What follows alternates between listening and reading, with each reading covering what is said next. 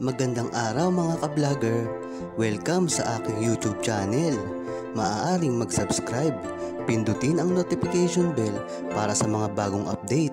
Maaari ring i-like at mag-comment sa bidyong ito. Bakit nga ba hindi inaamin ni Alden Richards at Win Mendoza si Baby Teo?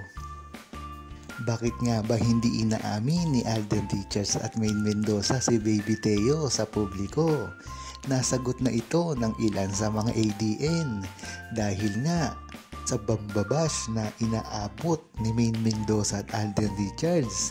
Kung matatandaan nyo ay sinabi na rin ni Alden Richards na kung ano talaga ang nakikita nyo sa amin ni Maine Mendoza kahit paano ito kung may anak kami, kung magkarelasyon at nakatira sa iisang bahay ay bahala na kayo dito. Makikita mo ang pagkabahala ni Alden Richards sa pahayag niyang ginawa na yan. Makikita mo talaga sa mukha ni Alden Richards na nagdadalawang isip siya kung talagang palalabasin niya ba si Baby Teo at ang relasyon niya kay Maine Mendoza sa publiko dahil matagal namang sinasabi ni Alden Richards ito dati pa lamang at hindi siya pinapaniwalaan. Kaya bakit niya papipilitin na paniwalaan siya.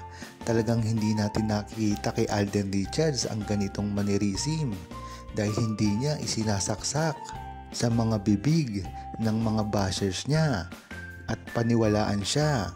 Ang mahalaga dito ay ang nakasuporta na Aldab Nation sa kanilang dalawa ni Maine Mendoza.